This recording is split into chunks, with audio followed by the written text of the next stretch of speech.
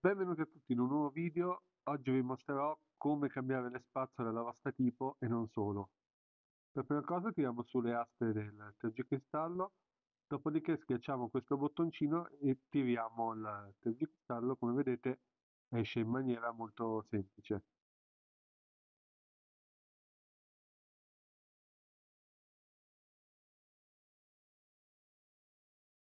Una volta fatto questo, eh, usate le spazzole che avete comprato. Io ho preso queste Air Twin della Bosch, vedete dietro c'è il modello Fiat Tipo. Adesso vado a fare un piccolo unboxing. Eh, in questo kit abbiamo sia la posteriore sinistra che l'anteriore destra.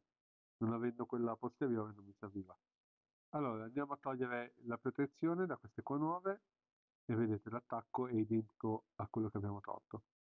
Dopodiché andiamo a incastrare il tergicristallo dentro, io faccio un po' fatica perché sto usando una mano per tenere il telefono. Ecco qui, dopo eh, andiamo a spingere finché non si sente il classico click che ci fa capire che il tergicristallo è fissato. Qui